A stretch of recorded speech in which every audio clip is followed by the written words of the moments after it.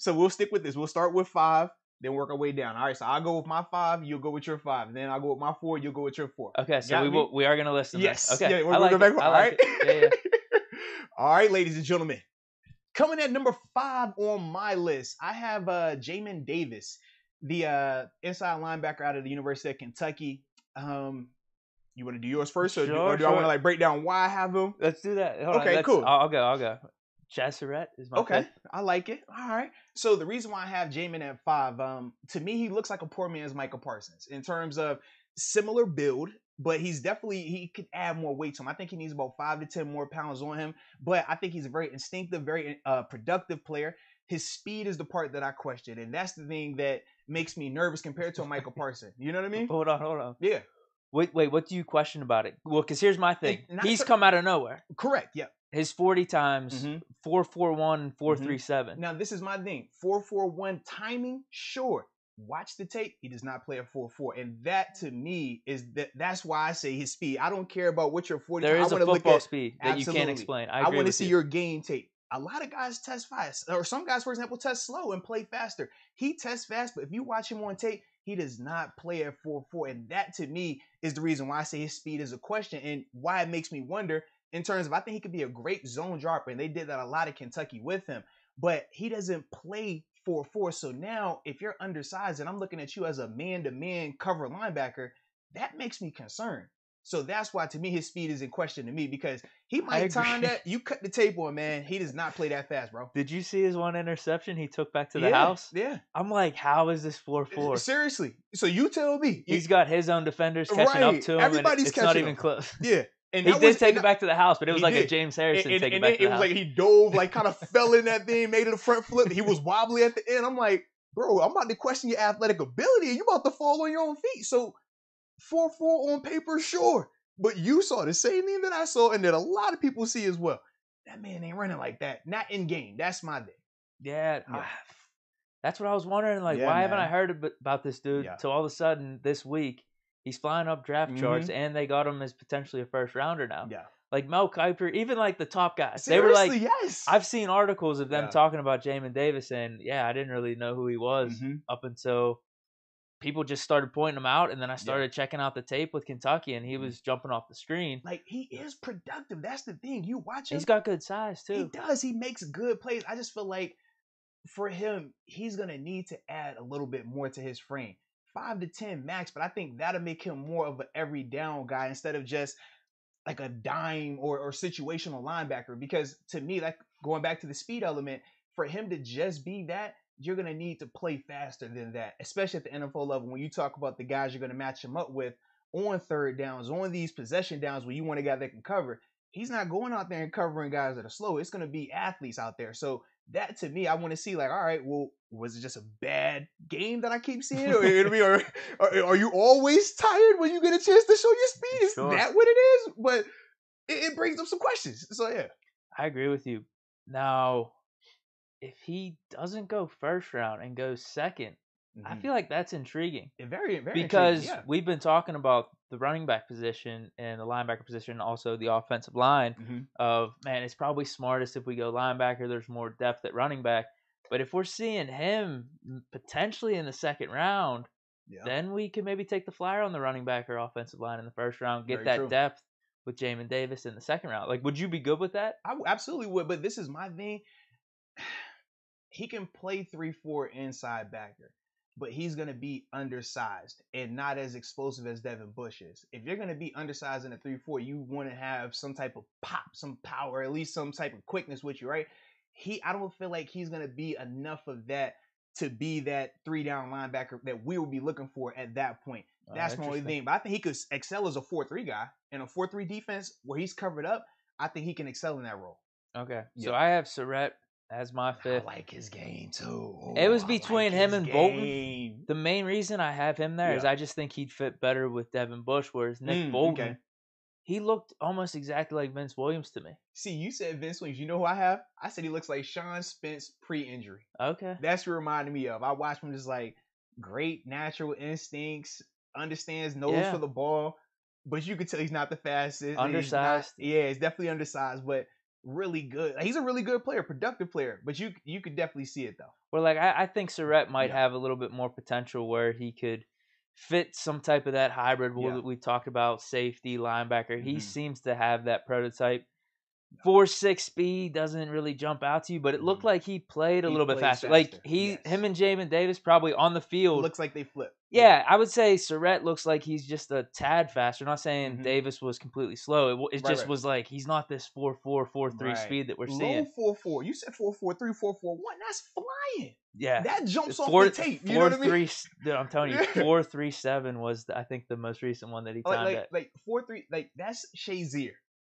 He doesn't play nowhere near the speed that Shazier plays at. You even when you watch Shay on the field, you was like, yo, this dude looks like a bullet shot out. You know what I mean? Jamin doesn't play to that same speed. That's why from just like, I'm not hearing that four four, man. That's hand time. Ah. So who do you got for?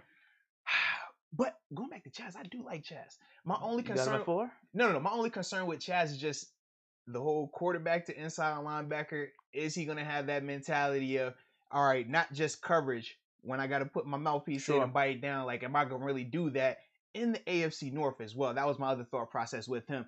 And I also thought to myself, in terms of how it relates to the Steelers, we already have kind of like that safety converted guy, very intriguing athlete in terms of Marcus Allen. When I think of him, Sure. I kind of think of Chaz, but I think Chaz is going to come in better because he already has the experience as a linebacker. Well, that's what I was gonna bring up Yeah. because whenever you see some of these guys, and it probably even goes to JOK too. Mhm.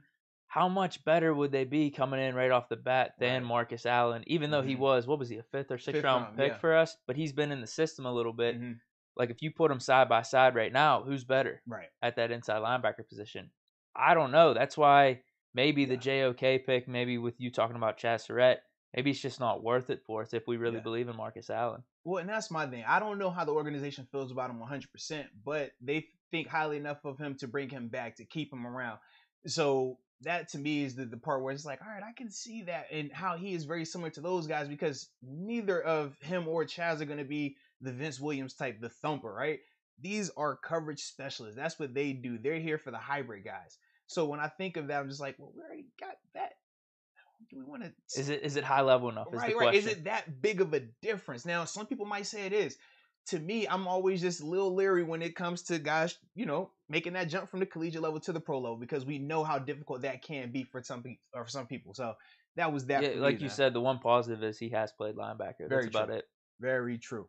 Oh, right. So now for me at number four, now, yeah, yeah, yeah, here I am. I have Azeez uh, uh Ojulari. Yeah, and that's I- I- This this is a see- sleeper pick, huh? You see, I ain't, I ain't butcher, I ain't butcher his name either. I've never No, even heard man. of him. So this the edge guy out of uh out of Georgia. Okay. So they're playing three four down there. Funny thing is, man, he's built just like Von Miller. Probably, Okay. But he's about 10 pounds like he plays he's 6'3, 240. Von about 6'3, 250, 255 range. So I would like him to have more weight on him. But the thing I love is this his speed rush and his bend. Man, it looks beautiful. But not just that, because sometimes I, I'm real skeptical about just solely speed rushes at the collegiate level, because at the NFL level, the tackles can move a lot better. You're not going to just run by these guys. But I've seen him use power moves. I've seen him go inside enough on tape and him playing in the SEC. You see him go, go up against Alex Leatherwood. You see him go up against some of these top tier offensive linemen, and he held his own. He looked good out there. So that's why for me, I like this guy a lot as an intriguing dude. I think he's a, a 3-4 outside linebacker solely. I don't like him at a 4-3. 4 3 DN. I feel like he's just too thin. His frame is too thin, but he has that long, just wiry edge rusher look about him, and I like it, man. Where do they have him going? Man, I've seen him anywhere. I'm trying to think. I saw him second roundish a little bit. Some people want to hype him up a little bit higher than that. I don't think he's a first round type dude. I see second round, probably more than likely third. But to me, I just think as an edge rusher, what he brings is going to be more than Nick Bolton or no more than Chaz Surratt, more than you know Jamin Davis in terms of as soon as I bring this guy in, what he can do, what he's capable of. Wait, so you do you have him potentially playing inside or like No, no, no. I think jumping he's, around I a think he's little bit? solely. I think he's an outside three Okay. four guy. Like, yeah, absolutely. Are you thinking Bruce Irvin type of role? Nah, because he's not as thick as Bruce. Like seriously, he looks like a, a combination of a poor man's Von Miller and the frame of like Dion Jordan, but not as tall. Because you know Dion's what six, what six five, six six, so not as tall. But think about that long, just linear frame, but not wiry like a Darius Leonard. He's not like that. He's thicker than that. That's why I keep saying Von because Von is still long and lean, but still has a little bit of body on him. You know what I mean? And that's when I look at uh, Azeez, I think of the same thing like that. So I'm assuming our top three is the same names, just potentially a different order. Mhm. Do you have this guy as the best outside linebacker edge for three four defense? In turn, uh, no, no, no. Uh, in terms of just three four guy, yes, I like him like Yeah. that. I know some people like uh, what's the cat, uh, Jason. Uh, uh, Penn State. yeah, I, it's not as productive. That's my thing. I don't. I'm not a combine or pro day guy. I want to see the tape. I want to see the productivity. And with Jason, he doesn't have the pass rush moves. I still question in terms of just his overall knowledge of the position as a whole. Just certain things you see on tape. Whereas with um with Azeez, he just seems like he understands the position. You know what I mean? And also knowing one of the guys who was down there coaching him in terms of Jarvis, I know what Jarvis knows from a football standpoint, and knowing what he is teaching that kid, I'm like, all right, I do like that as well because now you see, okay, he's committed to playing the right. He's gonna do this thing right. He understands how to take it upfield, how to have a counter move and things like that. So that's why for me, I have him where I have him. Okay, got you. So Yeah. four, I have uh, Jamin Davis. Honestly, after the 40 times and after like two of the highlights, I was like, I'm ready to put this dude at number one or Oh, like two man. behind Parsons, Yeah, yeah. man. I'm ready to put him above JOK and Zaven Collins. But I was like, you know what? I'm gonna be level headed here. We Yeah. got we got a podcast. I want to be talking to an Uh-huh. expert. Let's just put him at four, and then I could change my rankings later. Yeah.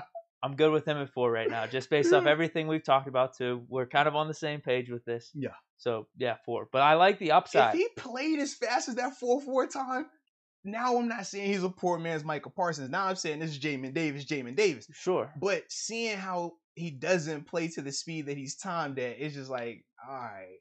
And there's gotta be- fast you are. And there's got to be something too you don't know about this guy randomly when college football season's happening. You don't even mm-hmm. have him on your draft boards at all. Yep. Now all of a sudden he's almost a first round pick. That's concerning. But then you have the opposite sometimes, which pisses me off. Where I'm mm. saying there's this dude, man. You, he's been on your boards. He's been Yeah. on your radar for you know ever since he came into college, saying he's a top prospect. But little things. I'm thinking of Bon- Vontaze Burfict Yeah, yeah. specifically. Absolutely. Because dude, he was if he would have came out after his junior I year, mean, he'd have been a first round pick. he would have been a top five pick, Yeah, and then all of a easily. sudden, senior year, I forget what happened. got, Character got, issues. Yeah, he had the. He didn't. Did he get? Kicked, he didn't get kicked off the seat. It was something Yeah, that I happened don't- know where he got in big. Like he kept getting in trouble. I can't remember, Yeah. but then for him to go completely undrafted, I was like, "You've got to be kidding me! You could have easily Mhm. taken him in the third or fourth round." Yeah. And you saw what type of NFL career he had. We've talked about this. Absolutely. Now you might you may not like some of the stuff he's done, Mhm. character issues, whatever it is. As a football player, he could was he was badass, man. He could definitely ball, man. But yeah, you see this all the time, man. You see this Yeah. all the time. So it's gonna be interesting though, man. That's like why it's a little. Of these guys are good though, but they are. But but I think both can be good. It's just how good is the question, right? And I think that's where the time will tell with these guys. But I, like where we're at so far, man. Right, We're, we're, we're, we're simpatico right now, man. Number three. Yeah, but hold on. Before we get to our number three, everybody in the in the chat, man, let us know your top five LB prospects coming out in this year's draft. I know we're sitting at we're about to give our third person right now, but yeah, list your top five. Let's see how y'all compare with you know what we got going on oh right yeah, now. yeah. Go. Absolutely. And trust me, and I see everybody in here talking about running backs. We're gonna get to them coming up soon and O linemen. Trust me. But yeah, drop your top five LBs coming out in this year's draft. All right, so for me now at number three, I have JOK right here, man. Jeremiah Owusu Koromoa. I didn't butcher his name. I'm so proud. No, of yeah, that was perfect. I'm proud of myself. I was practicing. You said that confidently. Too. Listen, I, I was on. I was working out this morning, and I was watching tape, and I'm like, yo, I'm gonna say his name right today. I'm gonna say it right. And now that I said it, I don't have to say it again. I'm just calling him JOK. So with JOK, I have him at three. Um, I like him because number one, he's very productive, but he reminds me of Jamal Adams. If Jamal Adams was a full time will linebacker, that's what JOK looks like to me. Undersized, crazy productive. Tough as heck. Sometimes his toughness overcomes his lack of size. Very similar to who? Jamal Adams. Jamal Adams plays around by the line of scrimmage, very productive in the backfield, can rush the passer, can cover. This guy right here, JOK, he's going to cover any tight end, any running back, pretty much any slot receiver with confidence. Like I, I'm confident he can cover those guys, no issues. He's not going to be a guy that you're going to have sitting in there as a three-four interior linebacker, though, taking on blocks. He's that's not his game. In a four-three defense, I love him as a will linebacker on the backside, covered up, let him just run. He can run with the best of them. He can cover everyone. That to me is who he is, though. He's Jamal Adams is a full time, full time line, uh, wall linebacker.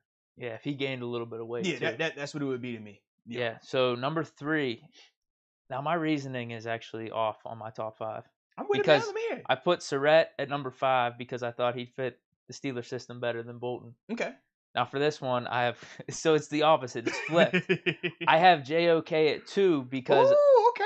I'm considering JOK just in a vacuum the better player than Zaven It's not True. thinking about drafting for the Steelers. So Got you. Yeah, yeah. what I did for my five and six I'm you. spot is different from my two and three. But it is, Okay. it is what it is. It's all feel. That's what it is. See, Talk- for me, so I'm I'm doing similar things, but at the same time, I still in the end I take away if I would want them on the Steelers or not. And I'm just saying Okay, when okay. I'm watching this guy, if I'm a GM, sure. who do I think the better player is? Yeah, I guess I could say that. So that's then kinda like I, guess I guess I could say that with five six because Yeah. Surratt over Bolton in today's NFL. I could I could go with that then. And my, my my peoples have let me know. Shout out to my boy Damo again. He let me know that JOK is from the seven five seven. That's the crib. So now I'm even more a fan. I might move him up to number one on the list now. Because he's from the hometown.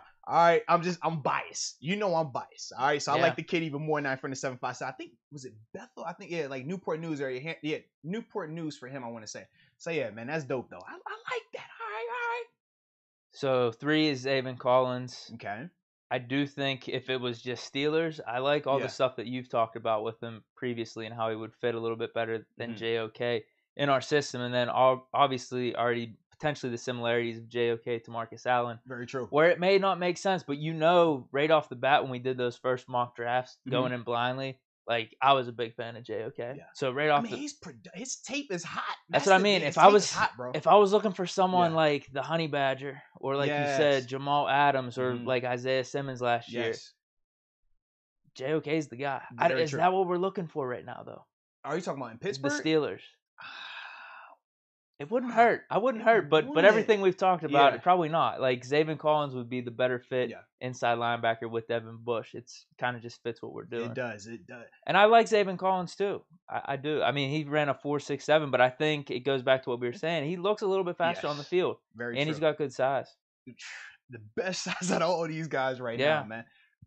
And it's funny, man. I'm looking at the uh, the chat. A lot of people kind of agree with that in terms of having JOK. I've seen people flipping with JOK at two, Zaven at three. Then I see Zaven at two, JOK at three. It looks like that's the consensus between those guys, man.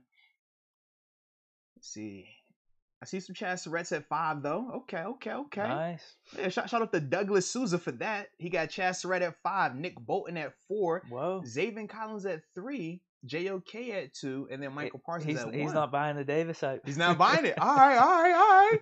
And then Cole Fitzsimmons has Nick Bolton at five, Jabril Cox at four, Whoa. uh, Zaven Collins at three, JOK at two, and then Micah Parsons. Uh, Mike, yeah, Micah Parsons at uh, one. Yeah. Ooh, all right, all right, all right. And then, oh, looks like Travis Maxwell said he played with JOK at uh out in Hampton, actually, man, at the crib, man, seven five seven in high school. So, all right, shout out to shout out to that then. All right. Dude, that'd be sick. Now I think we need to get him I connection. like- I- yeah. I'm, I'm digging it already. The, the hometown 757 thing. I I like that.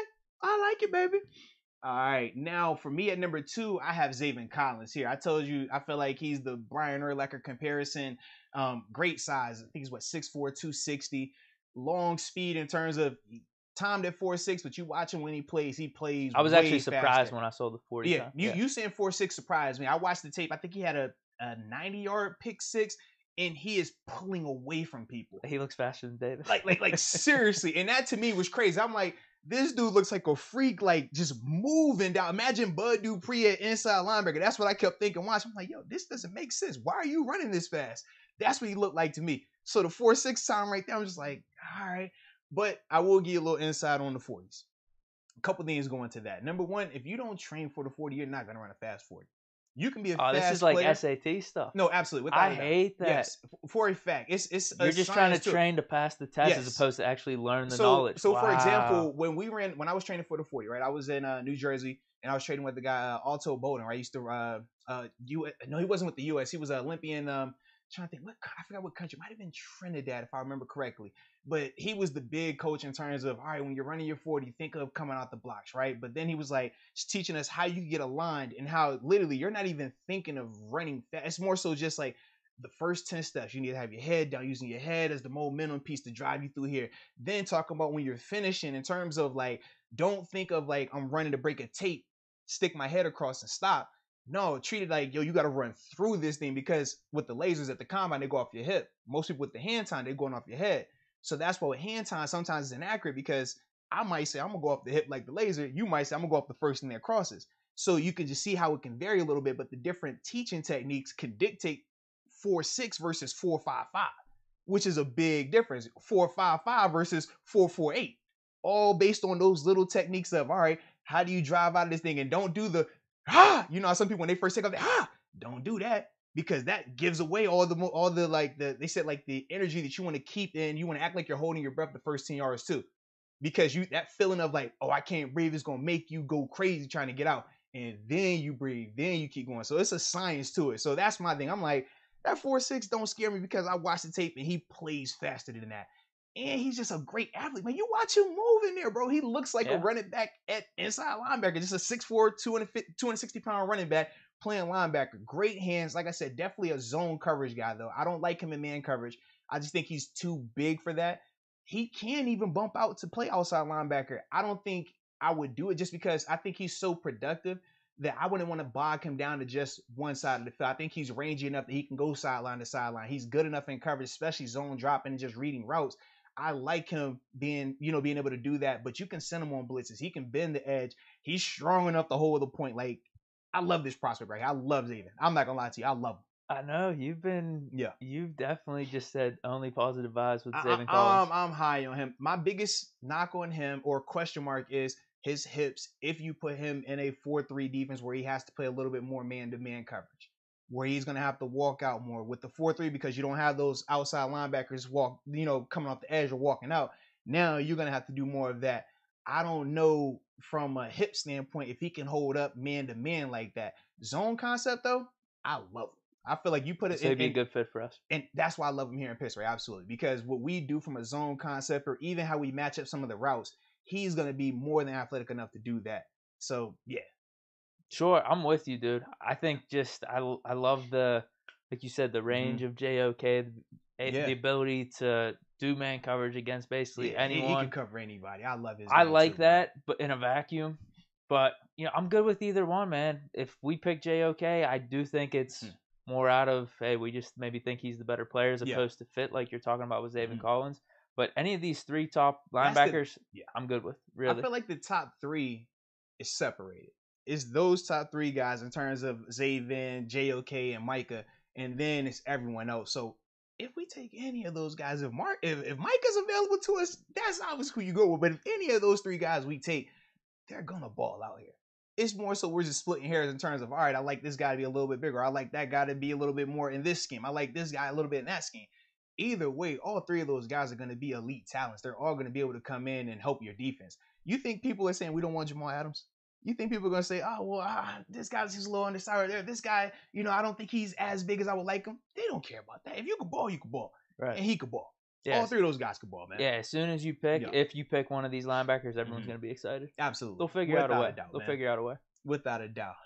Number one, I mean, uh, yeah, we already talked about this last podcast. Micah Parsons. Yeah. And he ran the four three nine, mm-hmm. and that shows on the field, on the highlights Without and everything. Yeah, he's he's he's number so, one. So I I, I want to correct myself too. So last time I had I was talking about more NaVorro Bowman. I watched him again. Darius Leonard. That's okay. who I that's who I feel in terms of like you see the wiry frame, right? Remember what I was saying like he look he doesn't look like he's two I think you said 245, 246 you said? Yeah. And I was like he doesn't look like that. The six three frame, he looks like Darius Leonard to me. And he plays like him as well in terms of crazy productivity, not just as a run stopper. You see him getting after the quarterback. He can drop into coverage. He's more than I feel like he's probably the best athlete of the bunch with those three guys as well. Like he just looks good.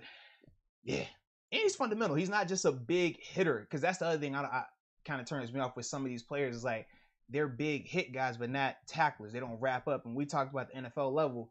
You can you hitters don't last in this league because these guys have great contact balance. You're not gonna just knock down Nick Chubb with a, a hard, violent shoulder. Like, nah, you're gonna have to wrap that grown man up and take him to the ground. Same with J.K. Dobbins, same with any of these running backs at this level. But seeing Mike, like, he is a fundamentalist, and I love that about his game, man. And the pedigree. You talk about Penn State, man. They call it LBU for a reason, man. I, am a big there's, believer. There's in been it, bro. some flops though. It, but it's been a lot more successful ones than flops, though. That's that's how. Yeah. what it, What do we have of recent memory? Sean Lee. He. You He's would still say playing right now. you would say successful. Injuries just screwed Yeah. him over. Uh, which is crazy because if anyone NaVorro Bowman. yeah. Yeah. and same with him, injuries. Paz had a great. Yeah, but Bowman was sick. No, no, Like, I said, I said Bowman was crazy, but then he had the injuries. Remember, uh, after he blew the knee out, it started to slow down for him. I I consider those three a success though, right off the Oh, bat. So that's yeah, yeah. three. Aaron Maybin though. high pedigree pick, but not productive. He still lasted what four? Did he get four years? I don't know. I think he got four because he got two. That's up your way, Buffalo. Uh, no, because I know he had two and a half, almost three. Yeah, you could say three in Buffalo because we cut him. It was like during the offseason time frame. So three in Buffalo, I think one with the Jets. It was either one or one and a half with the Jets. So right around that three and a half, four year mark. I wouldn't call it a success, but I mean, you could though. It's depending on how you want to word it. I don't look at him the same way I think of Paul Posluszny, Yeah, and the- Sean the like three we just right, named. right. Are we missing any from recent memory? I mean, you could go back like Who am I- Jack yeah. Ham and No, I feel like I'm forgetting somebody else though, man. Bar Arrington, obviously. I'm definitely forgetting somebody else. And I'll remember as soon as we get off. I'm like, oh, that was the other guy. Yeah, It's of recent good. of the, of the Yeah. last like decade. recent- that's what I'm saying. Yeah. Hmm, yeah, I don't know. Those are the 3 Mhm. that came to mind though. Yeah. But yeah, we're both agreeing with Micah Parsons, man, as the number one guy. And I didn't realize this. They said he used to play uh DN and running back in high school as well. Cause I was looking at some of him uh when he's on the edge coming off. I'm like, yo, he like know a little something here. And I was like, all right. So you got a little bit of that pedigree in your system. I like that.